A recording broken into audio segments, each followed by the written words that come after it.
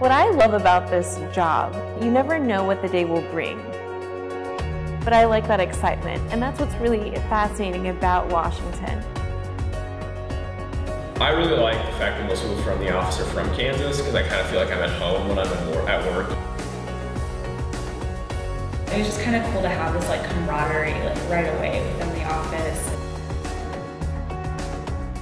I would like to think that all interns on Capitol Hill have as good a relationship with their representative or their senator, um, but I don't know if that's true. I feel like Senator Moran is really taking, really taking the time when he's rushing back and forth in the office to stop and talk to the interns.